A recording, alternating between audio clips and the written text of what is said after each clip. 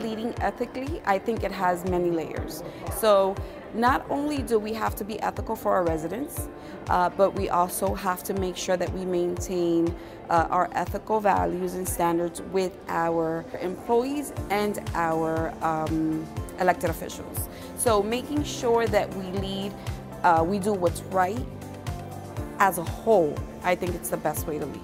I think it's important to, uh, to stay grounded knowing who I am and what my values are, uh, values of integrity and uh, doing the right thing for the right reasons. And so it just helps to guide. And then uh, beyond that, knowing what the laws are, the ordinances, and making sure that we are in compliance with those as we move forward, you know, trying to help people.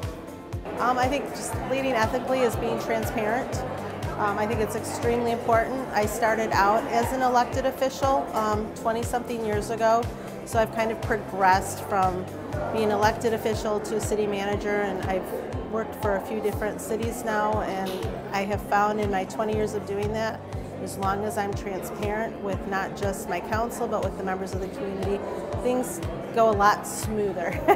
you have to have, you, you know, it's kind of in your gut. You know when there's a situation that comes up if something just feels off.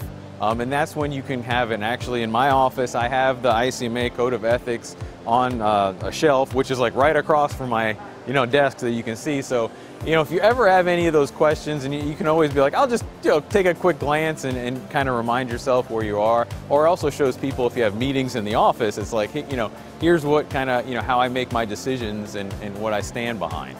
Always tell the truth and making sure that you're following the rules of your charter and the law is, um, is greatly important.